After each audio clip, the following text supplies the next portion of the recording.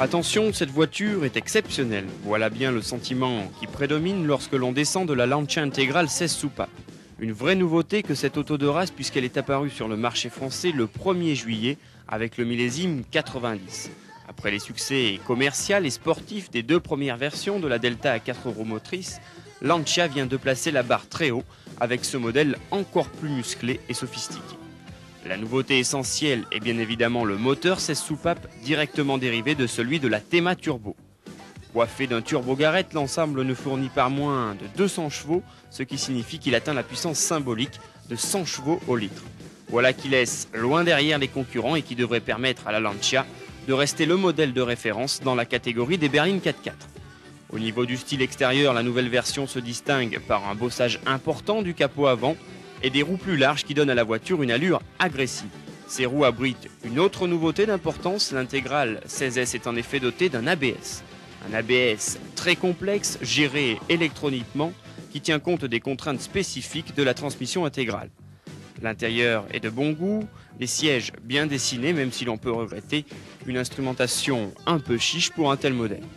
Les sensations ressenties au volant sont de celles que l'on n'oublie pas. Le moteur est à la fois puissant et souple, et tous les chevaux passent bien sur la route. L'ensemble est extrêmement efficace grâce à une boîte précise et agréable. Dans les grandes courbes bien plates, la Lancia paraît rivée au sol. Soudée sur ses gros pneus et ses suspensions fermes, elle dispose d'une adhérence fantastique.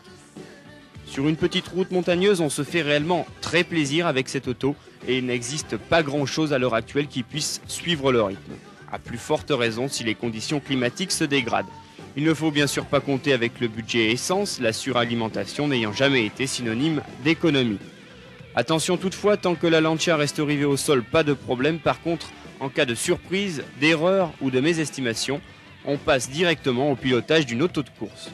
Le prix du rêve, 196 500 francs, ABS compris, et l'on peut dire que c'est une bonne affaire, surtout pour Lancia qui, avec un tel modèle, se met à l'abri de toutes les convoitises.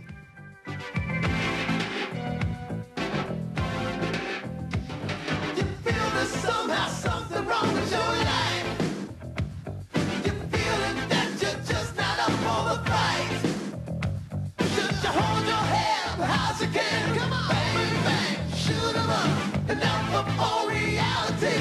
But what about your